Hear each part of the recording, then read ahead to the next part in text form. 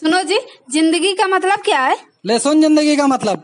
गरीब दूर तक चलता है खाना खाने के लिए, अमीर मीलों तक चलता है खाना पचाने के लिए। किसी के पास खाने के लिए एक वक्त की रोटी नहीं है, किसी के पास खाने के लिए वक्त नहीं है। कोई लाचार है इसलिए बीमार है, कोई बीमार है इसलिए वह लाचार है। कोई अपनों के लिए रोटी छोड़ देता है तो कोई रोटी के लिए अपनों को छोड़ देता है। ये दुनिया भी कितनी निराली है, कभी वक्त मिले तो सोचना, कभी छोटी सी चोट लगने पर रोते थे, आज दिल टूट जाने पर भी समझ जाते हैं। पहले हम दोस्तों के साथ रहते थे, आज दोस्तों की यादों में रहते हैं। पहले लड़ना मनाना रोज का काम था, आज एक बार लड़ते हैं तो सारे रिश्ते खो जाते हैं। सच में ज़िंदगी ने हमें बहुत कुछ सिखा दिया, न जाने कब हमको इतना बड़ा बना दिया। ज़िंदगी बहुत है, प्यार से जियो, जो भाग्य है, जो भाग्य में है वो भाग कर आएगा, जो नहीं है वो आकर भी जाएगा।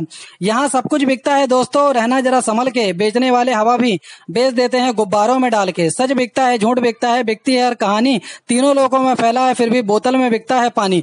कभी फूलों की तरह मत जीना, जिस दिन खिलोगे टूट कर बिखर जाओगे। जीना है तो पत्थर की तरह जियो, जिस दिन तरासे गए, भगवान बन जाओ। ऐसे ही और इंटरेस्टिंग वीडियोस देखने के लिए और शेयर करने के लिए डाउनलोड कीजिए रोपोसो ऐप राइट नाउ